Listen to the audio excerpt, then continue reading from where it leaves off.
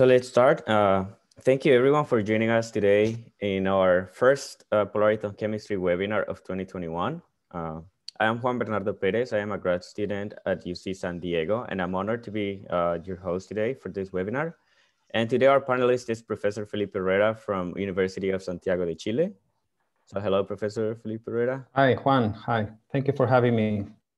Uh, thank you honor. for thank you for accepting our invitation. Uh, before we start the seminar though, let me share uh, some info. So uh, could you please, Professor Herrera, uh, let me share my screen? Of course.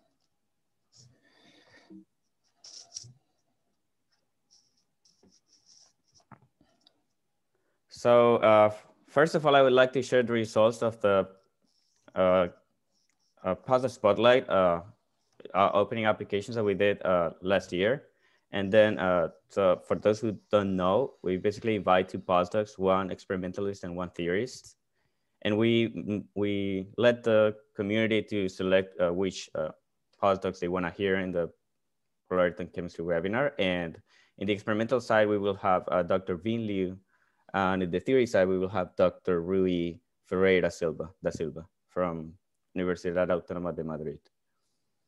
Um, if you want to like hear more about uh, our schedule and if you want to be updated on the kind of seminars that we're going to be hosting, you can join our Polariton Chemistry online community in our Facebook group. You can also post on that everything that you think is going to be uh, relevant for the community, like postdoc uh, applications, uh, recent papers, recent uh, findings, etc. And if you missed the webinar because of time difference or because you're busy at the moment, you can also watch the uh, seminar on our YouTube channel, Polariton Chemistry Webinars. So please feel free to subscribe. And in terms of the uh, mechanics of the webinar, uh, as an attendee, you have two options. Basically, if you have a question you want to ask the speaker, you can raise your hand and then I will interrupt the speaker and I'll, I'll enable your microphone so you can ask the question directly to Professor Herrera. Or if you prefer, you can type the question in the Q&A chat. And then if we have time at the end of the webinar, we can address those questions. And if there is not time, I, uh, Professor Felipe Herrera has uh, uh, is willing to answer those questions after the webinar is finished, and then we can post the answers to those questions in the commentary section in the YouTube uh, video. So uh, with that mechanics being clear, let me introduce Professor Herrera. Professor Herrera did his bachelor in chemistry from University of San, uh, Santiago de Chile in 2007, and then he moved to the US, uh, to Vancouver to University of British Columbia to pursue his PhD in theoretical chemistry with Professor Roman Krems, uh, focusing on studying binary and many-body interactions in ultra-cold molecular gases. And after obtaining his PhD in 2012, he worked as a postdoc briefly with Professor Sabri Kais at Purdue, and then two years at, Harvard University with Professor Alán Aspuru-Guzik. And after those two years, he was awarded the competitive CONICYT uh, PA I grant to start his current research as a professor at the University of Santiago de Chile, where he's now an assistant professor. Uh, so welcome, Professor Felipe Herrera, to the Polariton Chemistry webinar, and thank you again for accepting our invitation, and you can share your screen now. Thank you, Juan. Thank you for the kind introduction. I appreciate it. Now, um, let me click here. Okay. Should be seeing my presentation now? Yes. Okay, so great. Well, um, let's go. So thank you for having me today again. And this is um, this is work we've done over the past two years since we started paying attention to these um, fantastic experiments on vibrational strong coupling uh, with organic molecules in nanophotonic structures. Uh, we we think we uh, we have in this presentation something from everyone for everyone. We have a little bit of um, experimental descriptions um, for the mathematically oriented. We also have um, um, some theory to discuss. So hopefully you guys will enjoy it. And um, my data is here. You feel free to follow us on Twitter as well, so we can continue discussions. Now, um, this work is, is done at Santiago, as you well said. Now, this particular presentation is about research done by uh, former postdoc Federico Hernandez, who is now the postdoc at um, Queen Mary University in the UK, and um, our current postdoc, Johan Triana, um, who's been with us since 2019. Uh, he's a physicist, and um, we've done, uh, we, we published a couple of uh, papers together um, uh, on vibrational strong coupling and ultra strong coupling. And, um, and this is the rest of the group. We do a bunch of stuff. Um, mostly we started doing organic cavity QED for obvious reasons. We started um, thinking about these problems since I was a postdoc at, at, at in Boston. And um, roughly about the same time where these experiments from um, the group of Strasbourg of Thomas Ebbesen were coming out in Angewandte Chemie. Then um, here at LUSACH, we do other, other things as well, including some legacy projects on cold molecules and atoms. Um, now let's go to let's go to the meat of the subject here. Let me hide the controls. Now, um, atomic cavity QED is an old topic. Um, of course, in, in, comparison with the rest of physics, this is uh, this is quite new. But still, um, still the Jaynes-Cummings model, which describes um, a two-level atom uh, coherently interacting with a quantized electromagnetic field confined by two mirrors, the high-quality mirrors, was already there in 1963. Okay, and um, so the basic implementations here are, well, schematically, you have this two-level system that exchanges energy with the uh, cavity field that's confined between the two boundaries, are physical boundaries. They might be or they may or might not be perfect. And, and, and, and this atom can exchange energy with the reservoir uh, by emitting um, fluorescence. Basically, if this is, a, this is a fluorescing atom, it will, it will leak out uh, photons outside the confined cavity modes. And together as a coupled entity, the, this uh, system can dissipate energy through the mirrors because the um, reflectivity is not perfect at some rate that we is, is, is written here as kappa. Okay, different rates and coupling strengths. Now, this is kind of a um, relatively more, um, it's the same thing, but, um, it's a, but it really uh, identifies the input and output channels for energy, um, um, energy flow in the system. Now, um, these atomic cavity QED experiments are, can be done very precisely, and um, people can um, select different atomic levels to prepare an atom in, a, in an individual state, in a single state, using sophisticated quantum control techniques, so that, for instance, at some time that we call time t equals zero here, um, you, you have your atom in, a, in an excited level, and the cavity in the absolute vacuum, so no cavity photons on it. Now, of course, in as um, that state is an eigenstate of the uncoupled um, um, Hamiltonian, so to say, of this subpart of the total Jaynes-Cummings model, but uh, is not an eigenstate of the entire thing. So because it once they, these two um, atomic and, and photonic systems are put into contact, they will start interacting and exchanging energy coherently with on top of some dissipative processes that occur naturally. And so, so therefore, this initial condition where at time t equals zero, you have E0 here as a state will uh, inevitably change in time. These are times in microseconds because these are Rydberg levels of an, of, a, of an atom in a high Q cavity here. But at some time, um, you, um, the atom will exchange completely its energy, almost completely, with the um, cavity field and create a photon. So you will have now the atom in the ground state at some time later, and, and the cavity will now uh, build up enough energy to create a photon here. Of course, other things happen too, right? But this is mostly what's going on here.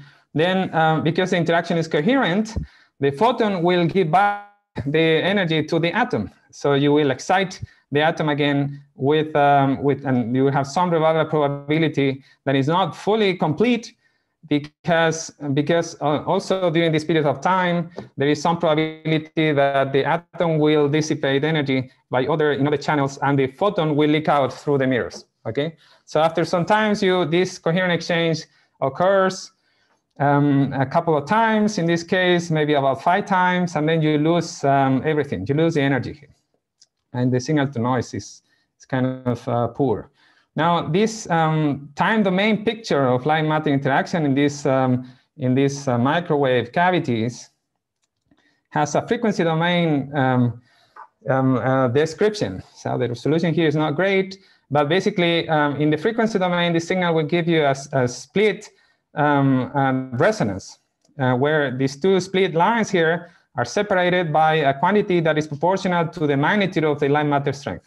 Okay, this is so-called Rabi splitting. Okay, so these are two things are intimately related. A microscopic term in the Hamiltonian and a, and a frequency shift, a frequency splitting that you see in linear spectroscopy. Now the line are roughly half the line widths, uh, half the, uh, um, the, the line of the bare um, atomic and cavity resonances. Okay, this is kind of a hybrid um, line that you that you reach, that you achieve in the strong. This is the so-called strong coupling regime. So with this introduction, now we move to nanophotonics now, and and and and, and realistic implementations at room temperature, which is um, which is uh, the great um, decrease in the overhead for implementing these Hamiltonians.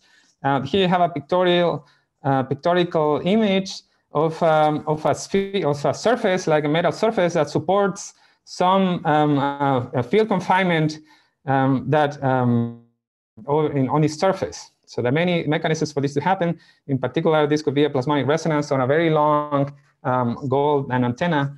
And here I'm, I'm, I'm, plotting here, I'm drawing one photon on this uh, near field antenna uh, resonance. Okay, so only one photon that might be resonant with a vibrational mode in a polymer on which you coat that you use to coat the antenna. Okay, so this is, of course, there is no vacuum here.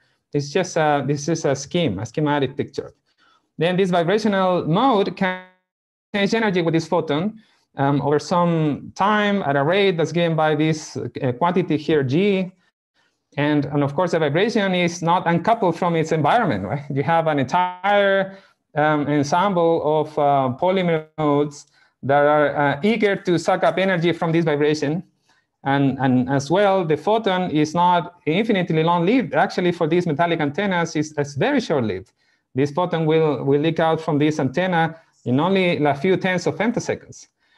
But still, um, um, under, um, it is possible under some circumstances to, um, to, to make things match in a way that um, these two resonances, photonic and material can couple strongly. Okay.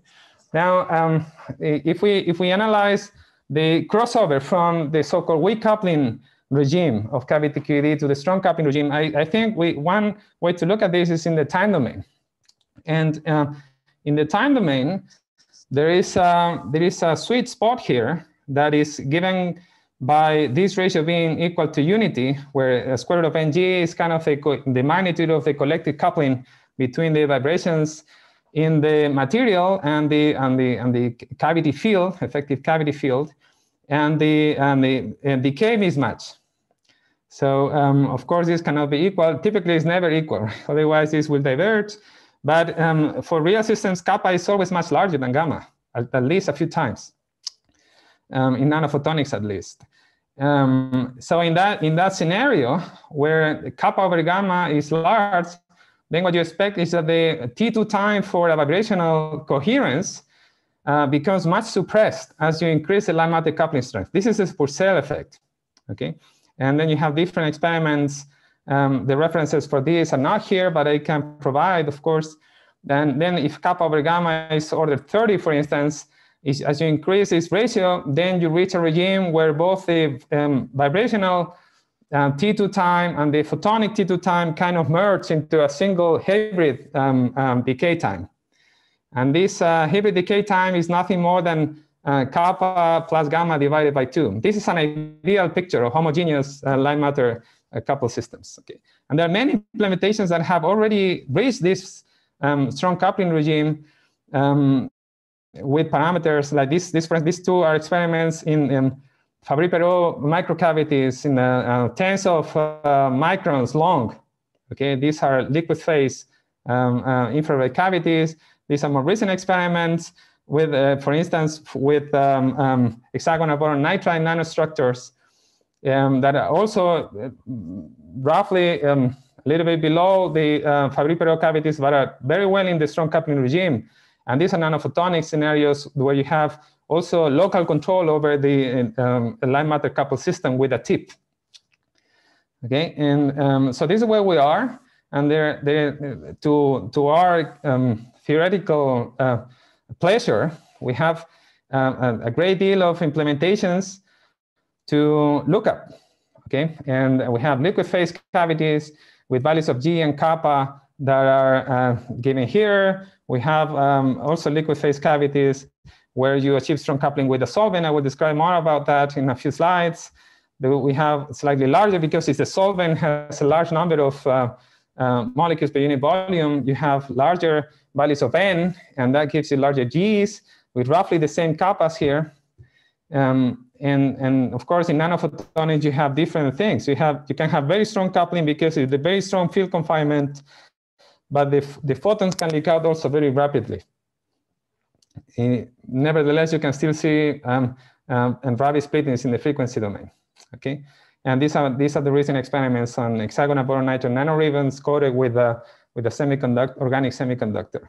The Gs and kappas are smaller, but they are similar, so they they still achieve strong coupling. So it's not the, the absolute size, but the comparison, okay, that matters. Now, um, this talk is about chemistry and spectroscopy. So let me um, refresh to students and, and also non-experts what, what is the motivation uh, here for most of us theories is to understand what's going on here. So we have this um, cavity-free solvolysis of uh, PNPA, paranitro uh, phenylacetate, which is, um, is used in chemistry for various um, um, purposes. It's a, it's, a, it's a nucleophilic substitution. So you have, you have a mildly acidic um, molecule, um, basic, but um, um, you have a, a, nucleophile in the solvent, so fluorine atom. Um, and that uh, and that solvent, when this reaction happens in, ethan, in, ethyl acetate, which is a polar solvent, um, you activate the one atom, one carbon atom here in this carbonyl group, okay? And that, um, so the, the, the, fluorine atom enters a gear here, attacks the carbon nucleus, and, and chemistry happens. So chemistry, chemistry happens means that uh, you break a bond, okay? So you break a bond, so the uh, fluorine atom goes with, the oxygen goes with the fluorine here, and, and you leave a bare oxygen um, atom here with some excess charge. So you have this ion, PNP minus ion, and, and everything here has a UV absorption spectrum, so you can track the process of this reaction as, P, as PNP minus is produced, okay, by looking at the UV absorption spectrum of these species. Now, everything is done uh, as in standard chemistry, like in a beaker, and, and, and this is done in, in, in, in ethyl acetate, which is a good, um, maybe like a, like a weak Lewis catalyst for this particular reaction. And ethyl acetate is a polar solvent with uh, almost a 1.9 dBi of dipole moment at equilibrium. What's, uh, that's not very surprising. This is uh, 100 years of chemistry. Uh, people know what to do. Chemists are incredibly, in, in, incredibly creative to, um, to get this done. So one of the testaments of their creativity is this particular experiment from um, last year in which um, you place this reaction inside a cavity, okay, an infrared cavity, and you um, build the cavity so that the uh, um, one of the higher order modes of this Fabry-Perot structure, in particular this 10th mode, is resonant with the carbonyl absorption uh, peak, which is very strong, um, it, uh, from the solvent. So you don't even target the reactants now. You target the solvent, and, and of course, because the solvent density is much larger than the dilute reactant, you, uh, PNPA is in the weak coupling regime as at the most. Okay, so you can only at most expect some Purcell enhancement of IVR, uh, but uh, but not strong coupling at all. And then yet, um, you you the people have measured here the group of Thomas Ebbesen and Jino George. Um, actually, these experiments were done in India, as far as I understand. The, um, they, um, they, they measure these huge rate enhancements. I mean, huge meaning that is, is significant, okay? And um, so it's significant, and so it's a catalyst. This, this entire system acts as a catalyst if you somehow activate even further this carbonyl uh, uh, bond from the solvent. Okay, so this entire reaction is faster. And if um, this is a resonant effect, because if you if you bring the carbonyl out of resonance by changing the mass of the carbon atom, then uh, you, you see no effect. Um, as a theorist, um, we were extremely excited. I think we, we had a huge celebration for maybe two days when we saw this paper out because it, it, it, gives us work for a couple of years, basically, to try to figure out what's going on. And um, so that's chemistry. That's a challenge for chemistry. So then there are also challenges in spectroscopy.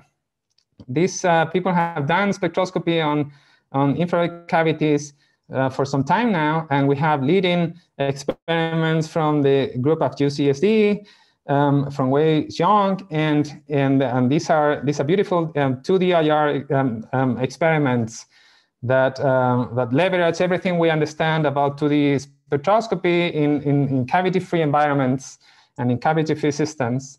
With, uh, but now you have to deal with uh, hybrid light matter states and their um, uh, relaxation processes, which we don't quite understand well yet. But we are, um, we are, we are making progress in that direction. So you have, you can do 2D IR uh, spectroscopy on the cavity. You can measure, um, of course, polariton uh, splittings, but you can do more than that. You can observe uh, coherent transients um, uh, between different polariton states and also uh, sometimes new um, transitions that um, you can expect to observe that probe even higher polariton levels. Okay. Now, linear spectroscopy is well understood. And in this is a particular um, linear transmission spectrum of, um, of sodium nitroprusside. On, it's an experiment that we'll, I will discuss in, in just a few seconds. Now, this is uh, sodium nitroprusside in a, in a Fabry-Perot IR cavity. And these are um, 2D IR experiments done by the groups of uh, Jeff Owrutsky, Blake Simpkins, and Adam Dunkelberger at US Naval Research Lab. And, and, and this is one of the results in the, the references here. Um, one of the results they obtained is that they produce this uh, solution with uh, SNP, which is also a polar molecule, um, and they couple to the NO bond of uh, sodium nitroprusside, which is a non-degenerate vibration, and and they um, they measure the response of the system or the 2IR, 2D IR uh, spectra of the system at different pulse delays with the hope of trying to understand how are the relaxation processes happening in this uh, complex scenario. Um, how much of the relaxation is polaritonic, how much is bare molecular relaxation or, or pure photonic. Okay, this is, this is kind of the big question here. Now, to their surprise, um, um, some years ago, they had this data in which at, um, of, at early times, early delays between the pump and the probe, then they observe uh, some negative features at the projections of the 2D IR spectra when you pump the upper polariton states, okay, the upper polariton frequencies. And also you have, the, they observe negative features um, at the lower polariton, uh, in the lower polariton range, but they could account for them, they could still account for them with, um, with some classical modeling or some previous models that they have developed with other collaborators.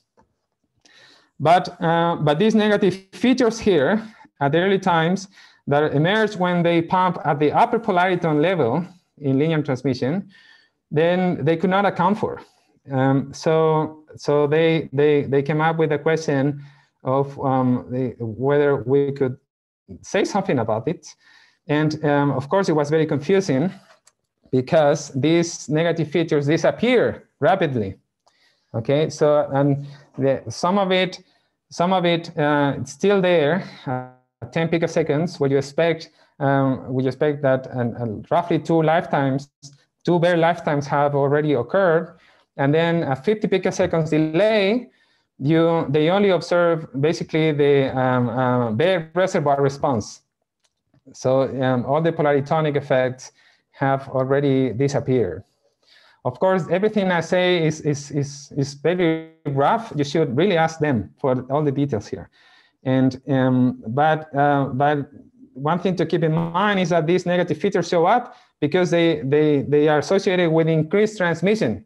This is a transmission setup. So they, the, the cavity transmits more when you pump at the UP and then probe, uh, probe near the UP as well, so around that region. And so the, the um, probe field is transmitted more, and that's why you have this negative peak, okay, in this, um, in this uh, choice of units. And um, so we, um, the rest of the talk, I would try to explain how we came up with this peak assignment.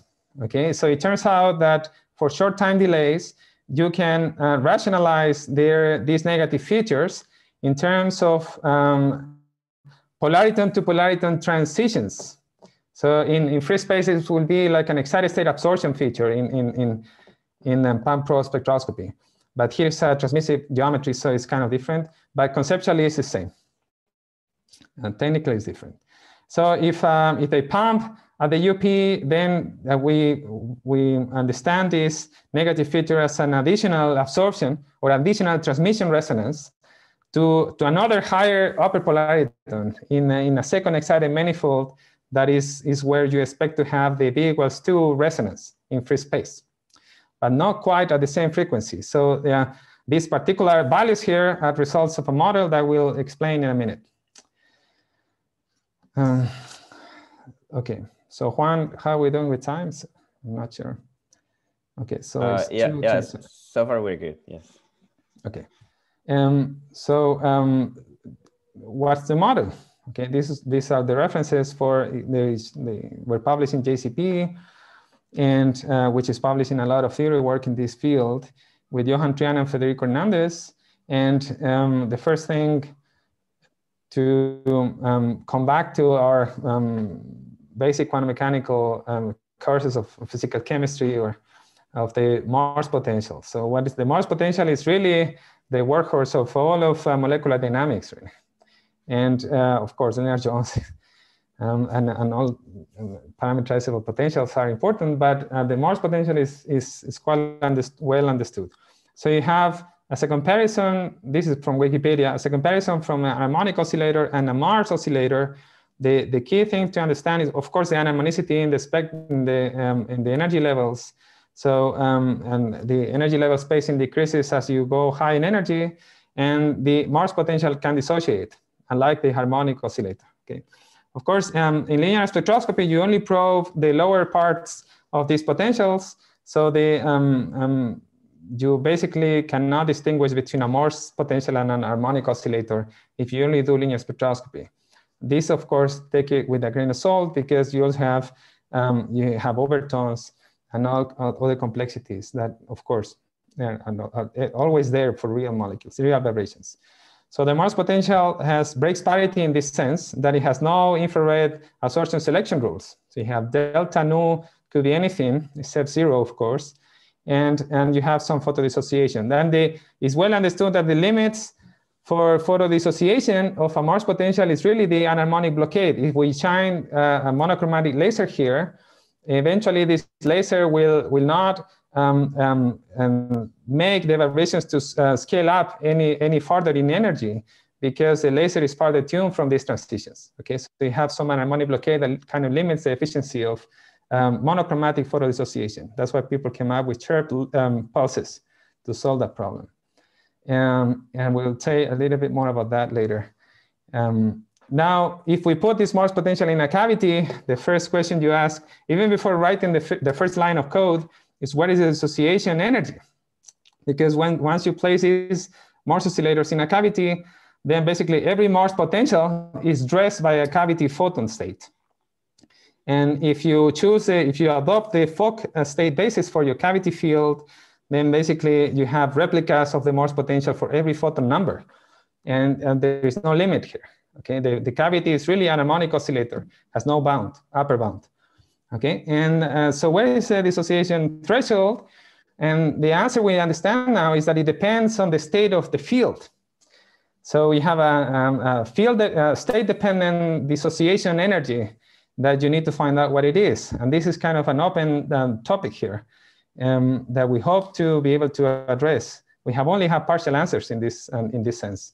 Now, if we want to understand how does the coupling scheme works for this uh, Morse potential in a, in, in a cavity, then we can identify um, the, the, the, coupling structure for lower levels.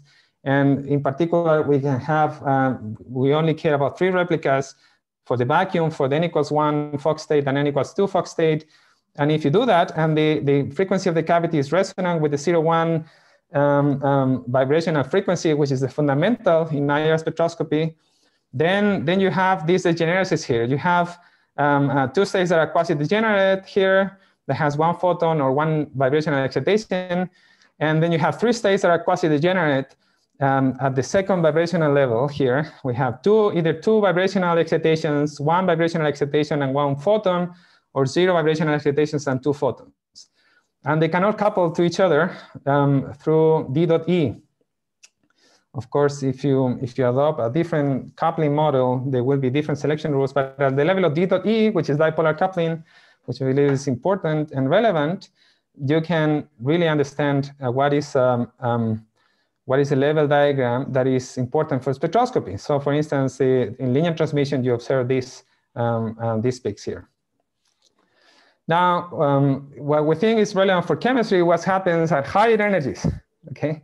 So if we have um, um, a larger number of replicas or your cavity can somehow build up photon amplitude with, in this particular case, up to n equals six, then you have a, a, lar a larger density of levels that are, are quasi-degenerate within the tuning here.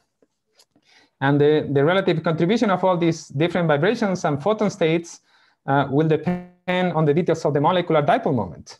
Okay, this is uh, something we understand now. And in particular, if we, for a, uh, uh, if we ask a simple question, what's the bond length of a Morse oscillator in a cavity? Then we can compute the, the bond length, so the mean value of the distance between the two nuclei in a, in a, in a, in a Morse oscillator as a function of the energy of uh, polaritonic stationary states. For this is a value of light matter coupling that is kind of at the onset of ultra strong coupling. This is G over omega equals to 0.1. And the coupling is resonant, okay, the, uh, with the fundamental vibrational frequency. Now you see that um, we plot here the um, mean bond distance of the Morse levels outside the cavity. These are the uh, um, empty symbols here. And of course, as you reach the energy for dissociation, the, the bond separates, the enlarges, and eventually breaks, right? This is what you expect in free space. So look at what happens inside the cavity. You, because of these couplings, you always have some contributions of lower vibrational uh, states, even at high energies, because of this hierarchy of, um, um, of uh, couplings with large density, large number of levels and avoided crossings here that will occur. So even beyond the dissociation threshold, um, um, even five times a vibrational quanta above the dissociation threshold, you still have polaritonic states that are uh, very much bound. So this bond uh, doesn't look like it wants to break, even if you pump up energy um, um way beyond what you would what you would need in free space. Okay, and now this is true. We found out this a couple a couple years ago and this is true actually for non-polar vibrations. We believe it's general. Uh, we, this, we call it a bond hardening effect. And we believe it's general only for polar, uh, for non-polar vibrations. And we, we were very pleased to see this very recent work from the group of uh, um, uh, Angel Rubio in Germany, we, who using a, a, a somehow different light matter coupling model um, they also see the same things for a nonpolar H2 plus molecule in a cavity. Okay, so um, what what this happens is this is uh, this is the bond distance basically. It's the same plot that we had before. This is the bond distance. Uh, you see the bond distance increasing as you increase the energy, and and this green line here represents the free space dissociation threshold. So the bond separates, breaks. Okay, but um, but if you put this into a cavity, you still have that at energies that are exceed that exceed the dissociation threshold. You still have polaritonic states that are very much bound. So you have bound states in the in the free space continuum. And um, so that's great. And this is something to be tested in experiments. And uh, um, we would like to discuss that with colleagues. Now, um, the model, we, we need to discuss the details of the model, of course, show a Hamiltonian for a theory talk. And, and this is the simpler, uh, uh, simplest way to write down the Hamiltonian. Okay, in, we project the light matter coupling um, in a multipolar form uh, over a vibrational, complete vibrational basis, which in principle should include also states in the continuum. And we do actually in numerics. But um, we can represent this as a discrete level here. We can always quantize a continuum in a box and have discrete momentum states. Um, but um, what's important here is that you have, of course, a free cavity Hamiltonian. So it's an harmonic oscillator. You have the Morse spectrum here. So um, the, uh, the Morse potential has, eigenstates that we can compute them and have their energies and their wave functions. And we can project D dot E in this Morse eigenstate basis and have, um, and have this form here. This uh, summation is over all um, um, light matter coupling terms that, um, that, re that represent transition dipole moments we have d dot e, but d dot e with transition dipoles in between the couple different vibrational levels, and also permanent dipole moments, which um, we don't couple different vibrational levels, but they are still there. Okay, they also couple to light. Okay, now epsilon, this epsilon zero here, this curly epsilon, is really the, the square of that is a magnitude of the vacuum fluctuations, which represents uh, how confined your cavity field is. Okay. Now, um, the, this dipole moment is not, unlike atoms, this is not um, um, like a finite rank matrix. Okay, this is an expansion of, um, uh, of the electric di dipole moment density over the nuclear displacements. This is Born-Oppenheimer approximation, and you can expand to as many terms as you need. And if you want to understand only the fundamental absorption frequencies, then you care about the slope of this dipole moment as you as you um, um, depart the nuclear configuration from equilibrium, then overtones are given by the square, um, um by q squares here, terms here, quadratic, um, anharmonicities in the dipole function, etc., etc. Now, um, of course, the overtones, here is an example of uh, CO2 in, in ice. This is an astrophysical, this is astrophysical data. And, and of course, the, these overtones, you have a fundamental here of an asymmetric stretch, and at twice the frequency, you have an overtone resonance. What's important is that the overtones are very weak. In this particular case, it's, uh, it's enhanced by, by the presence of water in ice, but still 10, at least 10 times an order of magnitude weaker than the fundamental, okay? We still take it into account. we don't neglect um, um, poor um, contributions here. And we do that because we want to understand differences um, between different classes of molecules. And we identify at least three classes that we call, um, according to the shape of the dipole moment function near the equilibrium configuration. So now in this particular example, the equilibrium configuration is at q equals four um, um uh, Born radius and uh, or atomic units. And then um, we have something that we call polar left molecule, which is in sodium nitroprusside is an example of it, where um, the, the bond has to shrink in order for the dipole to grow. Okay, if the, if the bond lengthens, the dipole moment, the electric dipole moment decreases. So we call that a polar left. So it has a negative slope at the equilibrium. And, and the opposite side, we have polar right, uh, polarized like um, uh, HF, for instance. So, so, you have to lengthen the bond in order for the dipole moment to increase. Or we have um, um, iron pentacarbonyl, which is non-polar at equilibrium because all the uh, carbonyl ligands are, uh, are at symmetric positions here. So it has zero dipole moment at equilibrium. But if you if you uh, move the carbonyl bonds in a certain in any direction, then the bond increases or decreases depending whether you shrink or um, or, um, or uh, lengthen the bonds. Okay, so and then here we plot the corresponding transition dipole moments in red and permanent dipole moments uh, for every vibrational level here in, in black circles. Now, if you only look at the transition dipole moments, then you will see that all these molecules will have, if they have the same fundamental frequency, they will have roughly the same IR spectra because you have a strong um, zero to one absorption peak and then a weak first overtone. And that's roughly what happens with all of them, okay? So you should not be able to distinguish if they happen to have the same vibrational frequencies, you will not be able to distinguish them by their dipole moments functions in free space. However, in a cavity, the situation is, is entirely different. It's entirely different. So you have, for instance, for polar right species, um, we the model predicts, of course, this is um, this is a spectrum for the polariton states up to um, about 2.5 times the vibrational, the bare vibrational um, uh, transition frequency. Um, then you have you have as a function of g over omega c, which is the magnitude of the light matter coupling strength. So g is d dot e with the transition dipole between zero and one, okay, vibrational levels. And um, so here you have um, Rabi coupling of 10% the, um, the cavity frequency and, and, from this is the conventional ultra strong coupling crossover, which is completely arbitrary, of course.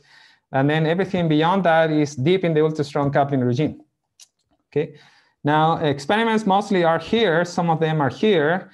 Now, um, of course, if you have a ground state, everything here is normalized to the ground state energy. I will tell you in a minute why we do that. But in this in this energy scale, the ground state doesn't move. Okay.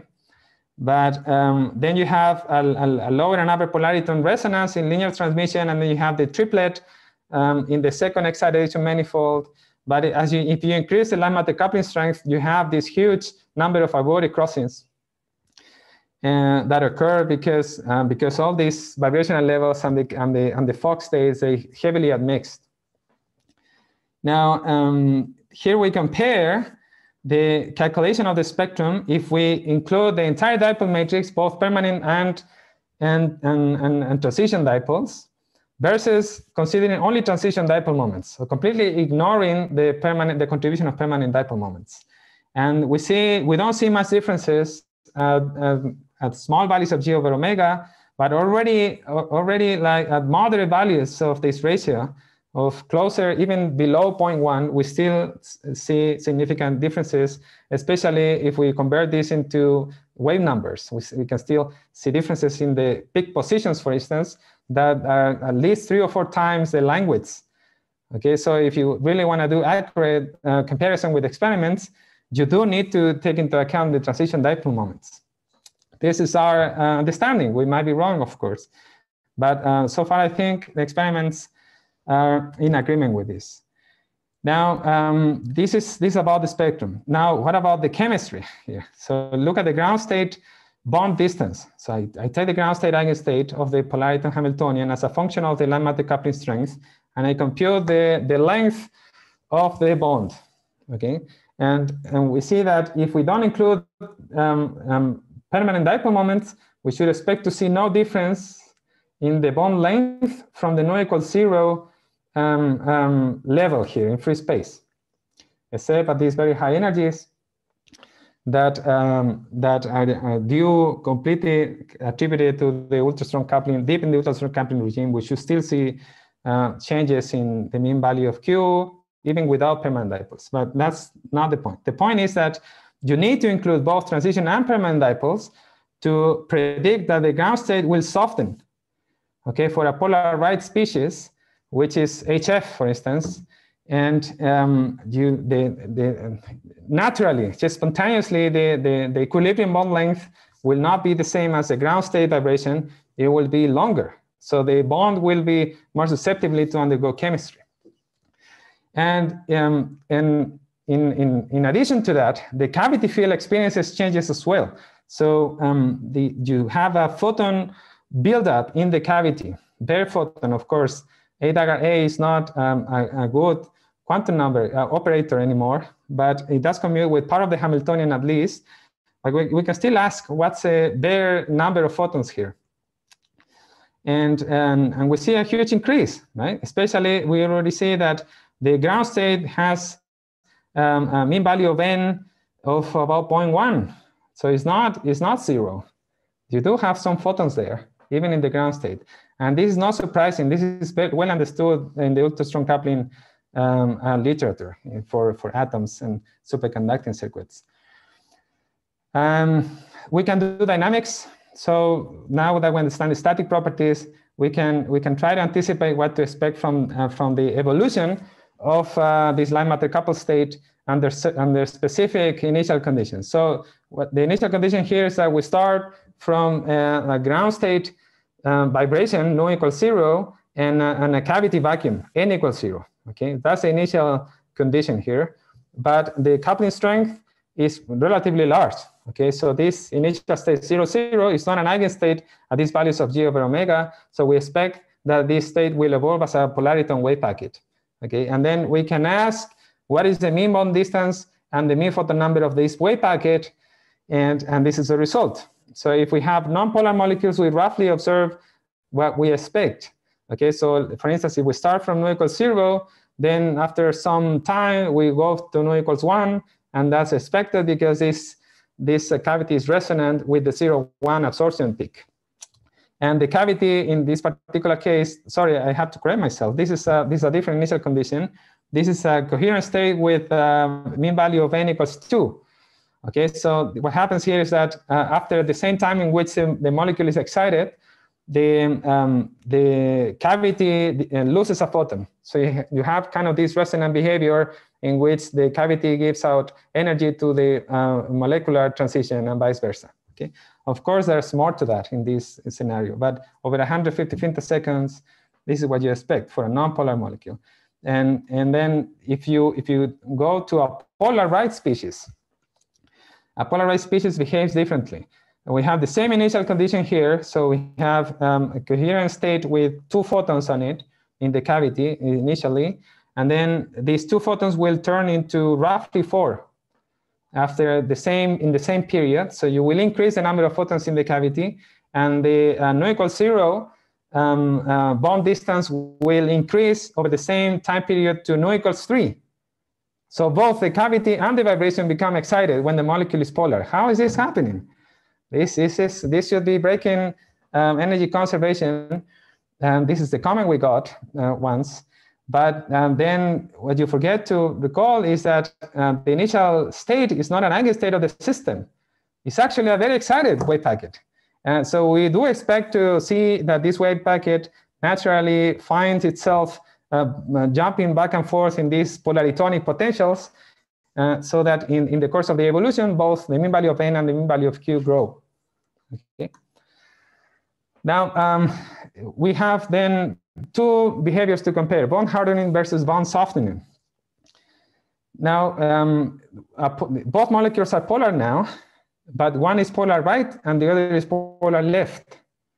Okay, and they have roughly the same permanent dipole moment and equilibrium. And they're both placed in an empty cavity in the ground level at t equals zero. Okay. Then what you see here is that the polar left molecule actually compresses. So um, if, if you start from v equals zero uh, mean bond distance and relevant or associated associated with the ground vibration level, you even you even shrink a little bit. Okay, not by much, but you don't enlarge the the bond doesn't enlarge itself. However, for the polar right species, you, um, and for this value of the coupling strength, you exaggerate the enlargement of the bond. So you go to over 300 femtoseconds to bond lengths that are comparable with nu equals eight in free space. So you, in, in other words, you kind of, if you, if you stick with the potential picture, which is wrong in this case, with the Morse potential picture, you kind of climb the Morse potential all the way up to nu equals eight. Okay, and, and, and how about the photon number? And again, so if you, if you start in this particular case, again, I, I have to correct myself. You don't start with the vacuum. You start with uh, no equals two, uh, with n equals two. You have some small number of photons in the cavity to begin with. Then um, the point here is that even this small number of photons become even smaller. Okay, you actually, you contract in the, in, in the Fock space. So you go closer to the vacuum if you start outside the vacuum, you go closer to the vacuum in phase space. If, you, if your molecule is polar left, and, and, and, but if your molecule is polar right, if you start a little bit away from the vacuum, we have uh, an average of two photons only in this cavity field initially. Then you move away from the vacuum even more. So you build up only up to eight photons on average. Okay, so this is a, this is a displacement effect that the polar molecule is inducing on the cavity field. And of course, as you displace the cavity, you create photons on it. If you stick to the bare picture, once you have photons inside the cavity build up naturally, because in this way packet evolution, then these photons will interact back with the Morse oscillator and, and, and undergo the vibration and ladder climbing as you would um, in free space. So it's kind of a self-excitation effect here, which I think is fantastic. Now, this is all nice, but uh, I told you there was something for everyone. So in, let me recall this Richard Feynman quote. So it doesn't matter how beautiful your theory is, it doesn't matter how smart you are. If it doesn't agree with the experiment, it's wrong. We truly believe this, actually. And uh, so we need to test the model. And we, we are thankful for um, uh, Blake and Jeff, who actually uh, showed us their data and, and gave us a try. So we did, and we, we only asked for two sets of inputs. One is we needed the transition frequencies in free space and the transition dipole moments from IR spectroscopy in a relevant solvent, okay? Now, two, we need the um, um, um, stationary polariton splitting in the in, uh, in linear spectroscopy. In this particular case, it's 46.5 wave numbers. Now, sodium nitroprusside is a polar left molecule. And, and with this input, we give predictions. Okay? And of course, after some parsing of the, of the theory here, and some fitting to actually match this uh, fitting of the model, so especially the dipole moment function, to match this uh, column here and to match this value as much as possible, then we predict the position of the absorption lines in the, in the pump-probe spectra and and the agreement is is fantastic. We were surprised actually. Um, we the the theory, in particular, these uh, lines here are predictions. We didn't know what to expect from them. We just plug in the input, um, enter the data into the theory, diagonalize up to the second excitation manifold, and this is what you get. And uh, the, the predictions do differ from experiments in, in, in several ways. First, they cannot they cannot uh, measure any, anything here because of spectral congestion. Um, uh, congestion. So we, we hope with different samples, this will be resolved. But then the model predicts that, uh, for instance, from an novel polariton peak that you populate in the pump after pumping with a resonant field here, then we predict two possible transitions, one to from the UP1 to UP2 and one from UP1 to MP2. And we predict the uh, UP1 to UP2 to be stronger than, than, than the other one. And in experiments, it's the opposite. Okay, so there is, there is a lot about um, higher excitation manifold that we still don't understand. We think it has to do with inhomogeneous broadening because uh, static disorder will of course change this homogeneous Hamiltonian and will, will suppress the photonic contribution from states that otherwise would be more photonic than, um, um, than, in, than what experiments are telling us. So because the strength of these peaks roughly goes like the square of the uh, photonic contribution of the polariton states. Okay. Now uh, this is about spectroscopy. Now we have we have results about chemistry too, and this is this is roughly anticipated a few minutes ago and on uh, something we call self dissociation. Yeah. I'm sorry, so sorry, Professor. Yeah, I'm sorry, yeah. Professor. It's nine 54, but I interrupted you because there is two questions. Uh, yeah. So, Joel.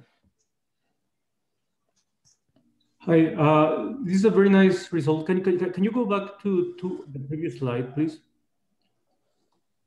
Uh, yeah, so can you explain again, um, based on this type of, uh, say, the second excitation manifold transitions, how can I distinguish between a left polar molecule, a right uh, polar molecule, and the one that is non-polar? Like, uh, what are the qualitative features in this type of spectra that allow me to make those distinctions? We can't at the moment.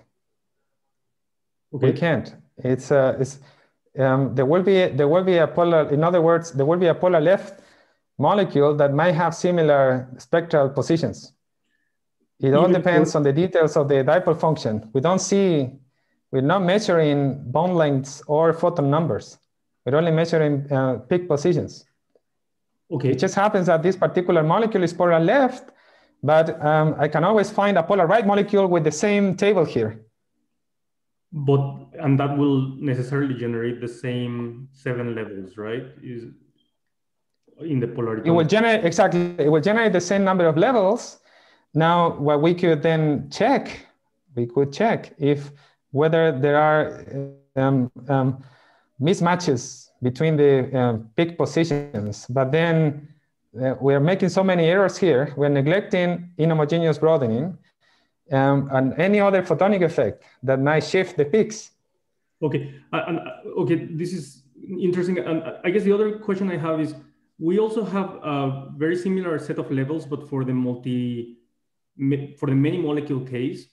And I was wondering if you know what are the differences in um, these are the bright states of the many molecule case. And, That's right. Uh, we're wondering if you know what is the difference between the peak positions uh, of this single molecule uh, model with respect to the many molecule one. Okay, so the, the value of the peak positions is given by, this is collective Rabi coupling. Yes. So at the, at the level of the bright manifold, you will replace G by square root of NG and that's and, allowed. And, and that's, that's allowed. And the rest is all the same, right? Or, exactly. Or, or are there any differences with respect to the many molecule case? If in the homogeneous in the homogeneous uh, model that we have, we, there should be no differences. That's what I mean when uh, if you take into account the fact that the vibrational resonances for each individual molecule in this assembly is not the same. There is a Gaussian distribution of them then, then you expect the dark, this dark reservoir at the V equals one and V equals two energy levels um, to mix differently with the bright states. Okay. And, I, and I that will lead to differences. Uh, sorry, and I guess the last question I want to ask, uh, okay, I, I'm wondering if you agree with the following statement that I'm going to make. So all these statements about bond hardening will be true in the single molecule case, but in the collective regime, they average out and they give rise to no changes in the bond strength of the ensemble. Would you agree with that statement or at, not? At, in the long time, in the long time scales, I would agree. However, think about this. Um, you need to overcome an energy barrier to undergo chemistry. Okay, so only those states that take you um, up close to the um, activation energy threshold only those states will undergo chemistry efficiently.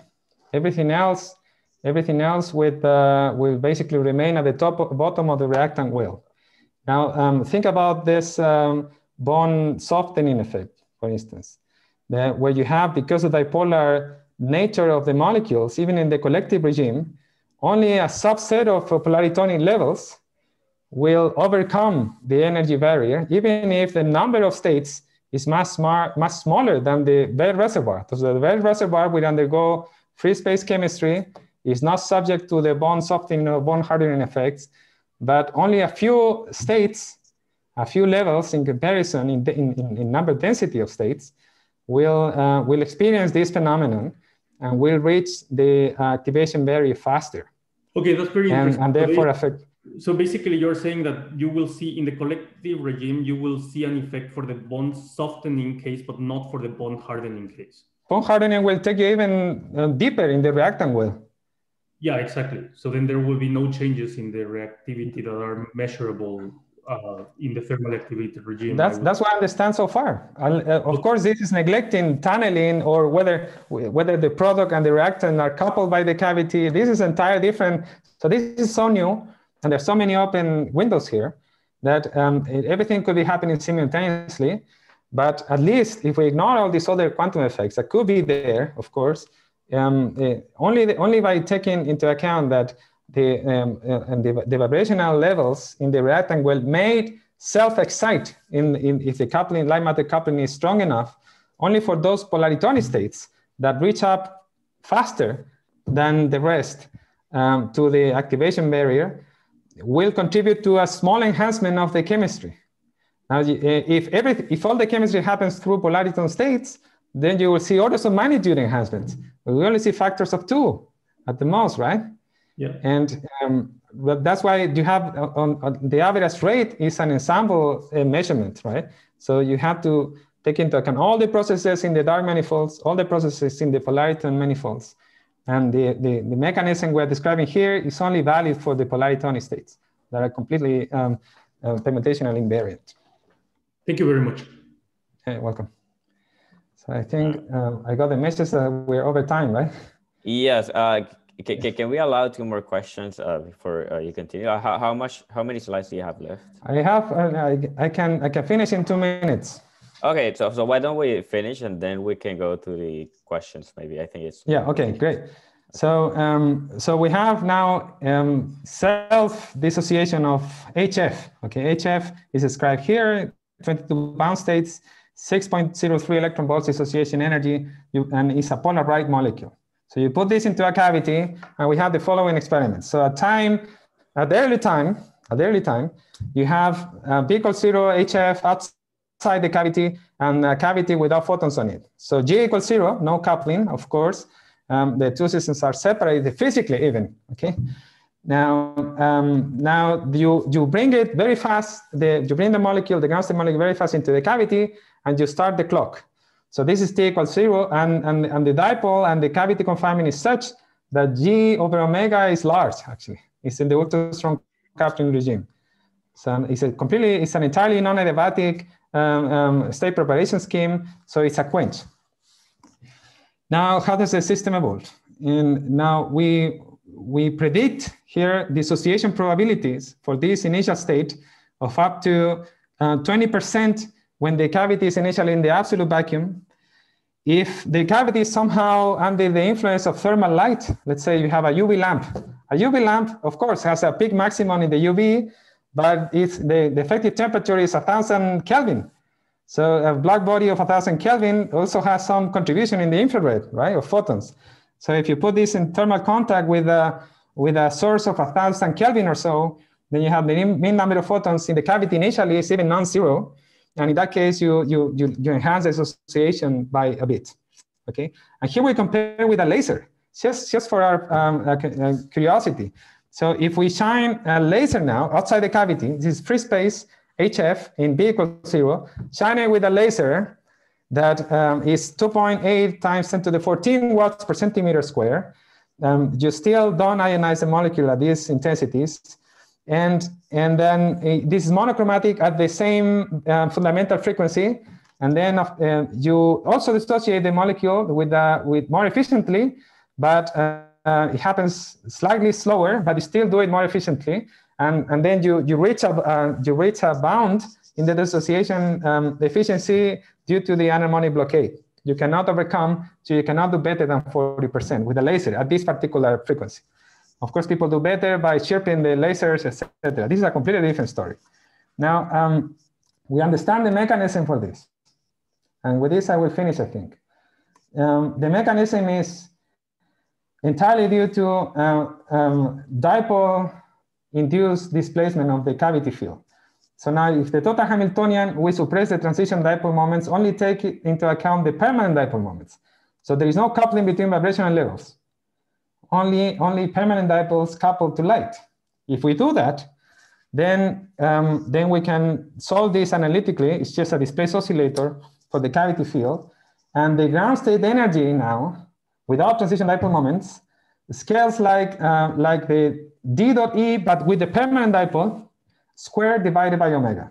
Okay, so it scales quadratically with the field confinement strength. So it's proportional to directly to the vacuum fluctuations and not the square root of it. And, and so now, of course, the ground state is not, it doesn't have zero photons. It's a, it's a displaced um, oscillator. Um, and here we compare the ground state energy, which is formally is really a Bloch-Siegert shift here when I'm plotting, and the ground state energy as a function of g over omega, but g take g defined with in terms of the transition dipole moment, of course. And if we take the entire Hamiltonian with H1 and H2, then we get the blue line. if we have only the permanent dipole moments, so this Hamiltonian, then we have that the ground state scales quadratically with this quantity here, with the um, vacuum amplitude. And, and we see that already for moderate values of g over omega, you have ground state shifts that are comparable with the dissociation energy. So when you put in here, um, for this value of g, when you place 0, 0, 0, 0 is actually a highly excited wave packet, polariton wave packet. And that's why it dissociates. And so it's, it's, it's, there's nothing wrong with energy conservation or whatsoever. And this is actually quite well understood in, in circuit QED. This is an, an experimental implementation of this Hamiltonian. Of course, many orders of magnitude in the budget here of difference, but um, the, this is a generalized quantum Rabi model for a two-level um, uh, two-level system, which is a superconducting qubit. And you have one term here proportional to sigma z, which is really diagonal dipole moments that depend on the spin state for the effective spin here. And this sigma x um, is, can be considered as transition dipole moment contributions. Now, um, um, you can engineer have either one, the other, or both in a superconducting circuit. We yet don't have this with natural vibrations, but at least we have both. Okay, that's already good. And um, and then and then the similar similar they actually measure in this paper the ground state Bloch-Siegert shift, and it's significant. Okay, so it's a measurable quantity that I encourage colleagues to try to do similar things with molecules actually in room temperature. Now I had this um, proposal here to prepare this type of systems, but we don't have time for that. Now the conclusions basically summarize what we have said, and um, I will I will leave this in the, um, will you can um, pause the YouTube video here to read about it. It's basically the summary of the talk. And I would like to make one final comment if you allow me, Juan, please. Now let's compare the overheads here to do cavity QED with molecules. So this is a, this is a picture from the group of Thomas Ebbesen, which appeared in, the, in, a, in a very well written piece in chemistry world from Katrina Krämer, which basically you put a liquid solution in a cavity and all it takes is to adapt in a clever way. okay, I'm not minimizing the effort here. It's actually quite complex. Uh, standard equipment. Okay, standard FTIR equipment um, um, to do the state preparation and everything. Right? So you prepare the solutions outside, you bring them into the cell, you measure chemistry, you measure polariton spectroscopy, and you publish amazing results. Now compare that with this. This is another French pioneer, okay, Sergei Laroche, Laroche, and sorry, and then you put a Rydberg atom in, a, in, a, in, in microwave mirrors, which are superconducting mirrors with very high Q, and compare the order other magnitude in the budget. So I think eventually the field will transition into this. Okay, so why not? And um, the reason why we would like to do this is because of state preparation. So you don't you don't want to uh, only rely on natural chemical processes. You want to prepare the quantum state of the cavity to target a specific rate. Once we understand what's going on, then will, people will be able to uh, tailor design these cavities and prepare the molecular species to do um, amazing things in cavity QED. So with this, I finish one. And um, I would like to thank all our collaborators. We're lucky to have them, um, especially our colleagues in the US and also Canada and Sweden. And, um, we, and I leave this, I'm happy to take questions, but I leave you with references. Okay, this would also, you can pause the YouTube video and look this up. So thank you for having me. I'm sorry I went over time and uh, I'm happy to take questions. It, it is no problem. Thank you very much. That was a wonderful talk. Uh, we do have uh, a few questions, so we'll start with Matt, and after that, Professor uh, Dr. Tao Li, and after that, Professor Wei Xiong. Hi, uh, thank you so much for the talk. Uh, I, I would just like to understand better your response regarding the whether the bond lengthening effect will still hold in the collective strong coupling regime. So even with all the dark states and the orientational averaging and the fact that the coupling to the cavity to each molecule is super small in the collective regime, may you explain again why you expect the bond lengthening effect to still be experimentally observable? Right. So um, we don't have a we don't have a reason to believe otherwise. So this this Hamiltonian that we have is is homogeneous. So all molecules couple equally to light, which is not true. And then and then we do have the same transition frequencies, which is also not true. And and yet um, in this particular Hamiltonian, we can um, partition this into many body states. For, in the many body case, right? We can partition the many body subspace um, according to permutation symmetry. And um, if we only if we only take into account those um, substates that are fully symmetric with respect to permutation of the of the molecular um, Hamiltonian, of course, right? Because the cavity there's no permutation in the cavity there. But if you permute different molecules in the system and you still get the same quantum state, that's totally symmetric. So we can always do that, no matter what the Hamiltonian is, as long as it's homogeneous.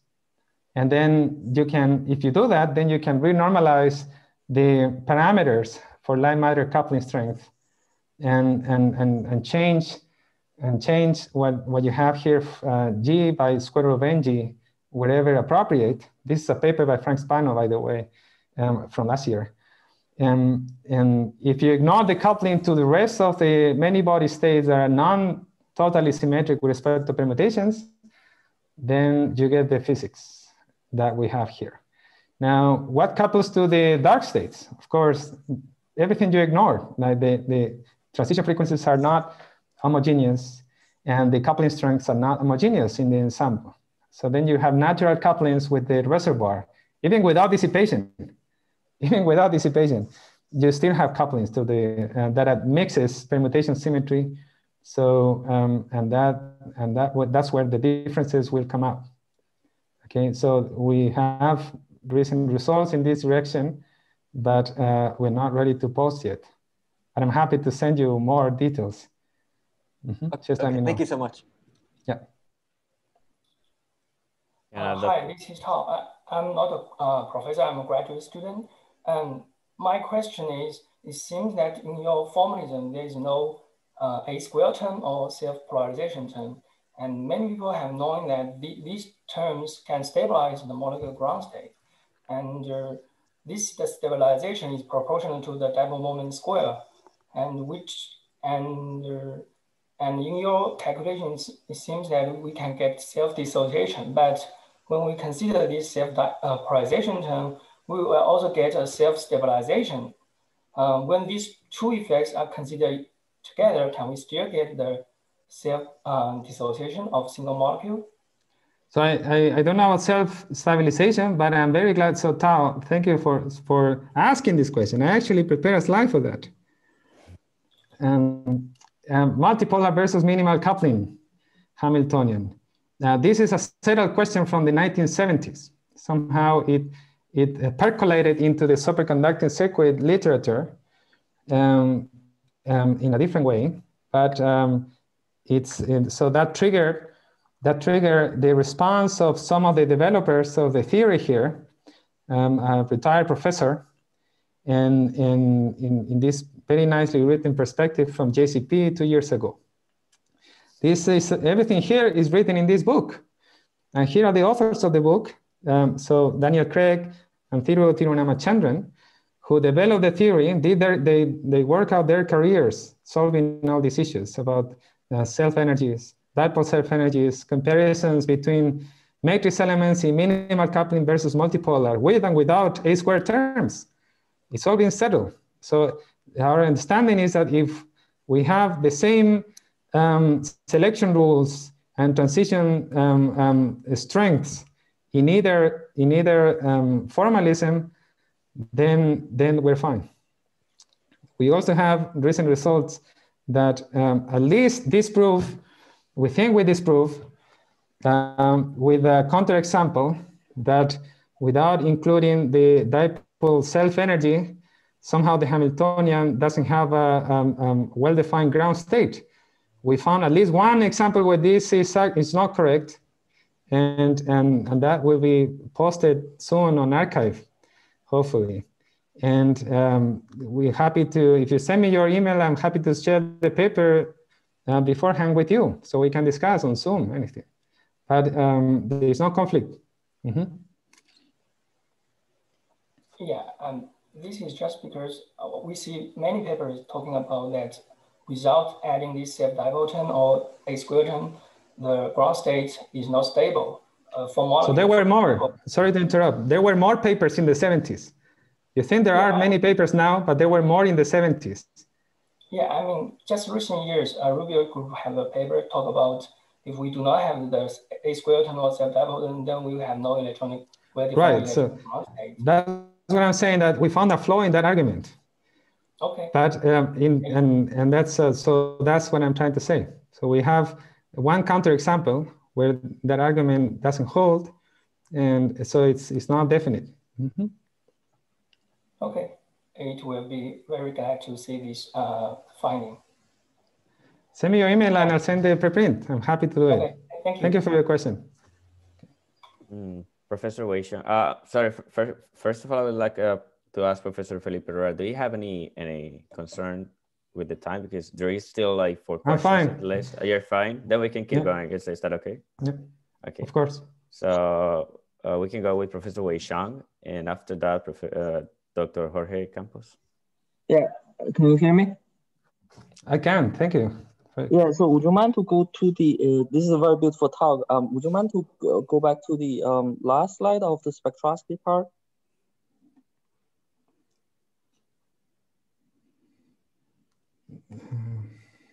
This. Where you have the, the, the table, uh, the, yeah, this one.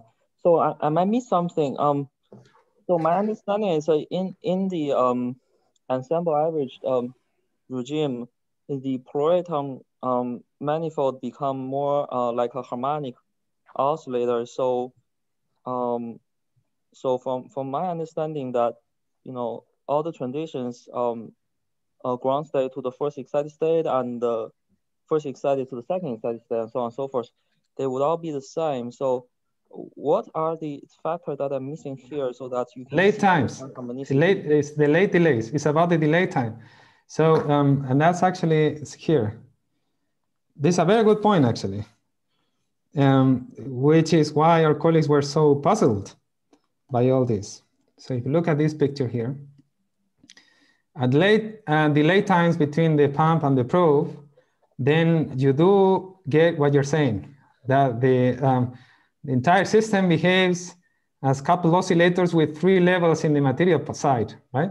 No equals zero, uh, sorry, zero to one and, and, and one to two and zero to two, three oscillators. And which could be harmonic, and you have a theory that accounts for um, a small anharmonicity, um, and that, that gives you good matching with this spectrum.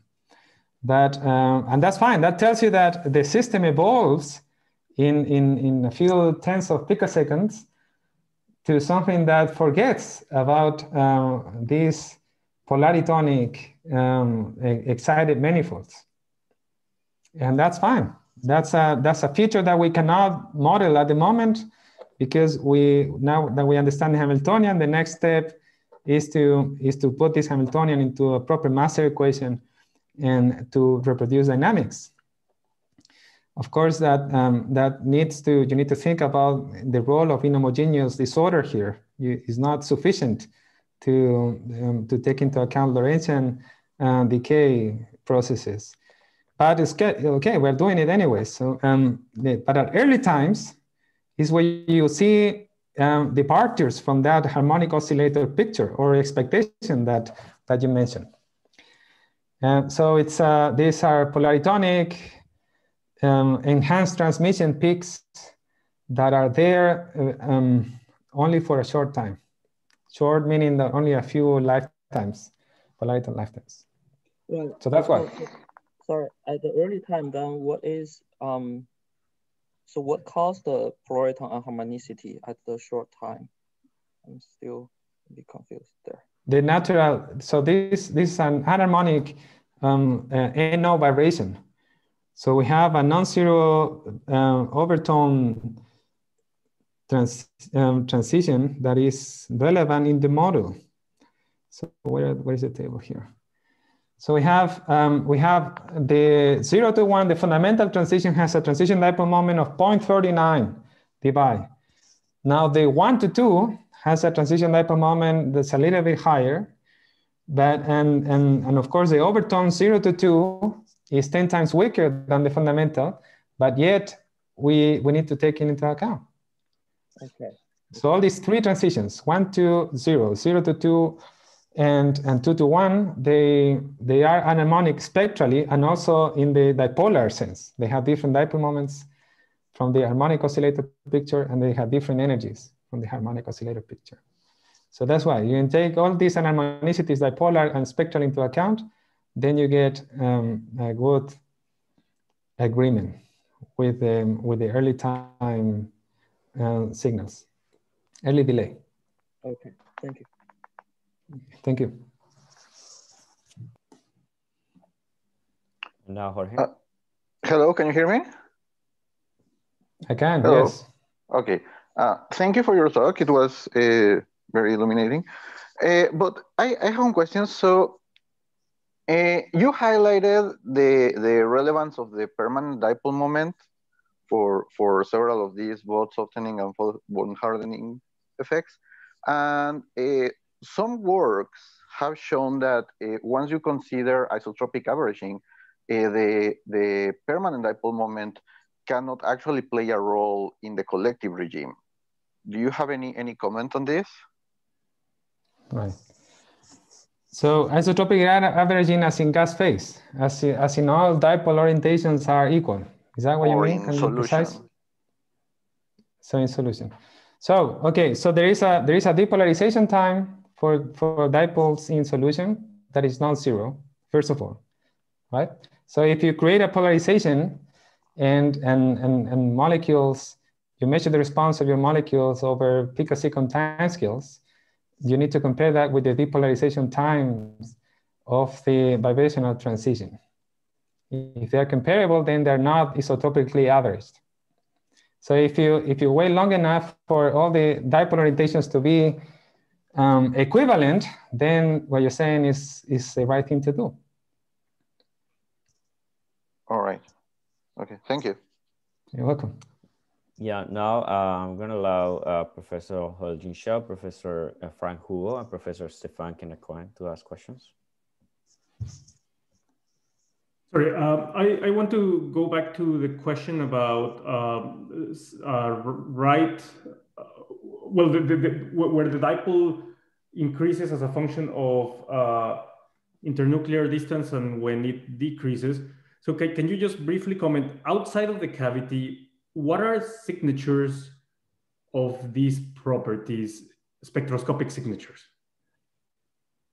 Right. Um, so in, in IR spectroscopy, you, you don't resolve the sign of the slope here. That's the beauty of, um, of nature because it, it hides it from you. So, So so, I guess like, my question is, do you, so outside and inside of the cavity, it's not possible to spectroscopically detect this sign?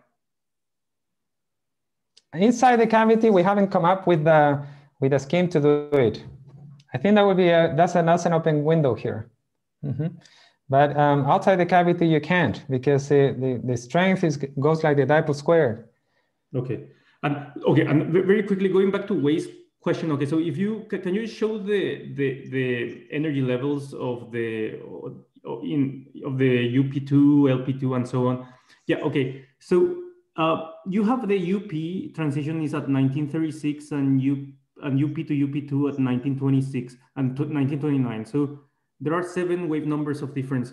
So I don't remember exactly the the the, the formulas of these anharmonic shifts, but these seven wave numbers in the collective regime, it doesn't get diluted to almost nothing. Yeah. So you, you need to ask um, Blake here, actually, if how they managed to resolve the congestion. But um, what they explained to me, which I need to parse that, is that these peak positions here, they are the result of the subtraction of the dark response.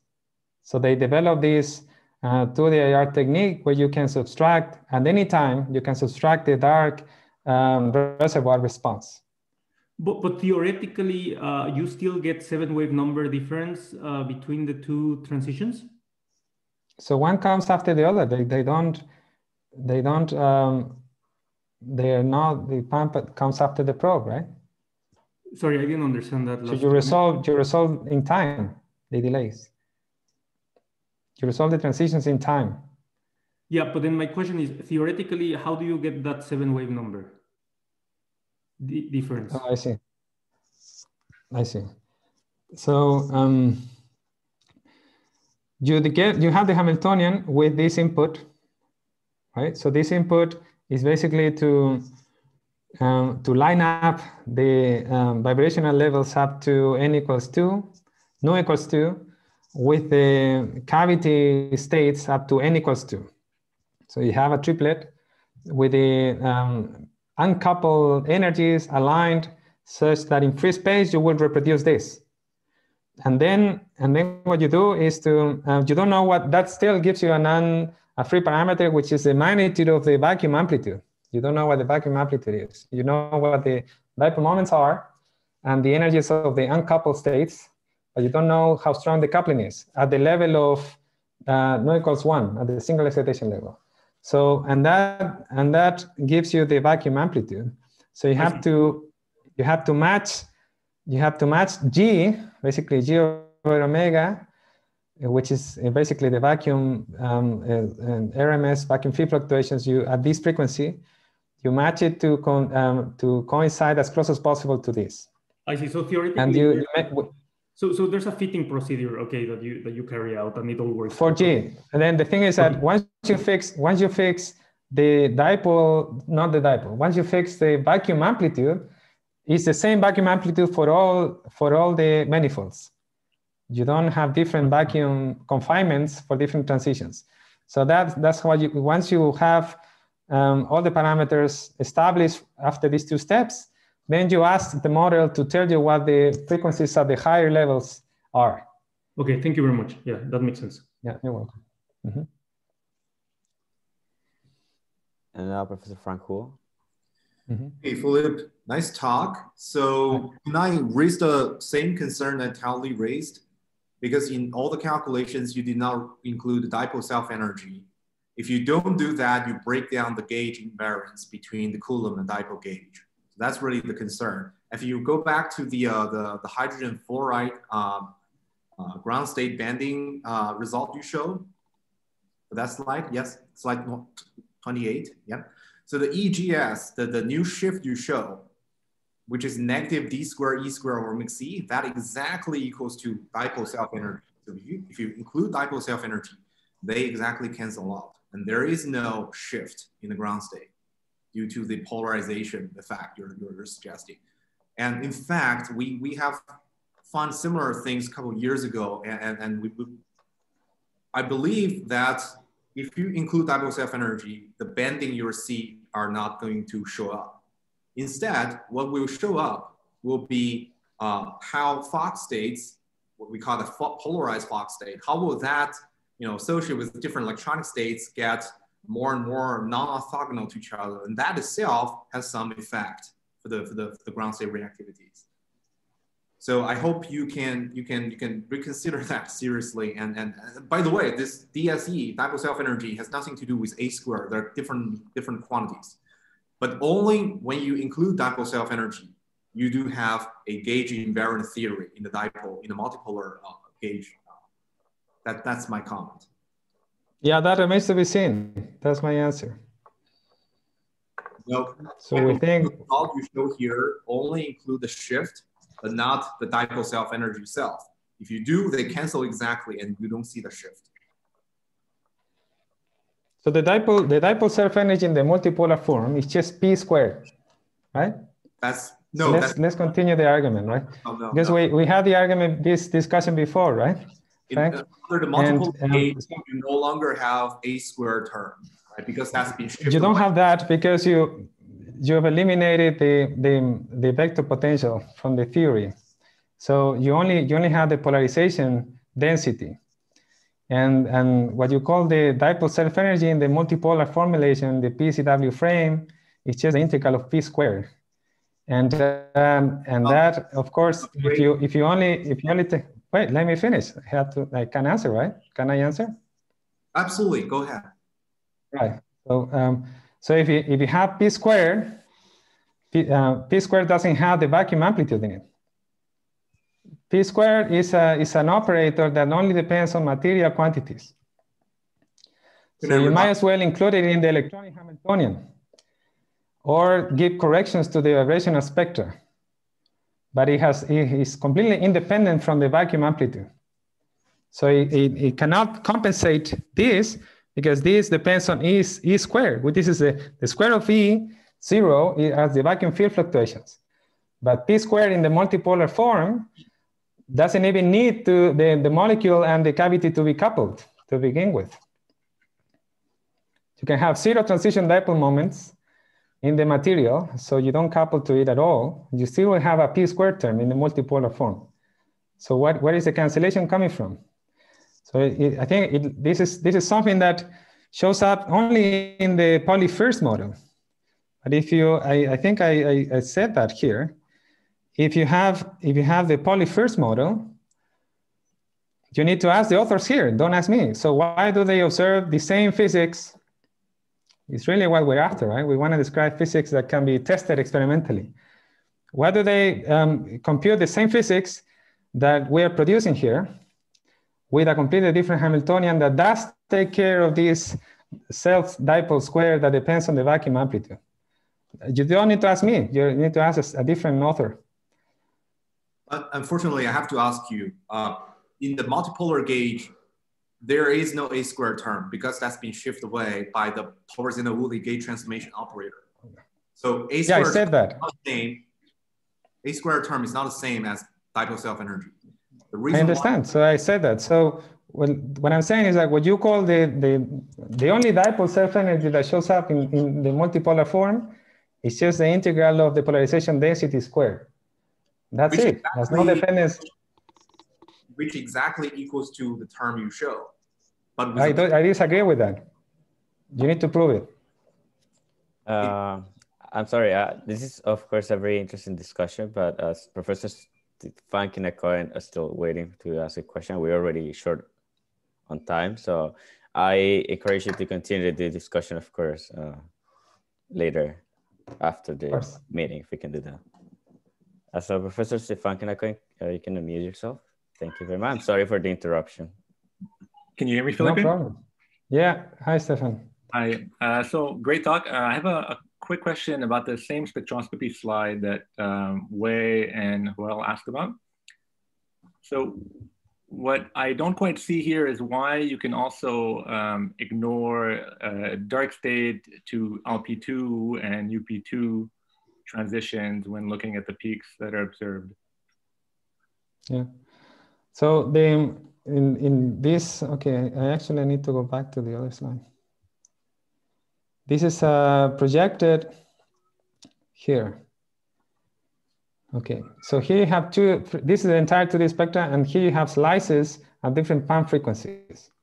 Okay, so uh, here you pump the blue line here, you pump at the UP Okay, so that's already at least 20 wave numbers away from the dark manifold and uh, from the reservoir states of v equals one. So you don't, uh, they compute it, I don't compute. So you have a, only a small response in this, in this pump, in this probe regime, you have only a small contribution from the dark manifold. And whatever contribution they have here from the very resonances, they subtract it. Because they, in this, in this reference, they prove that um, they have a characteristic timescale that can be understood analytically. So you can subtract it from these, um, uh, these uh, slice, spectral slices at, um, at different LP and UP frequencies. And that's why you can, you can compare on equal footing with the model. The model uh, disregards the dark reservoirs as a simplification, just to see what's going on.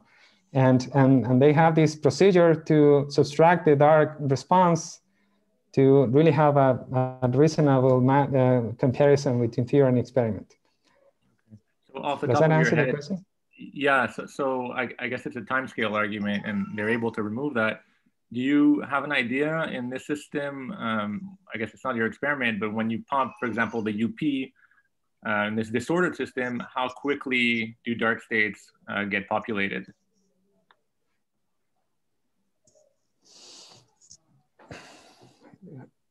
And well,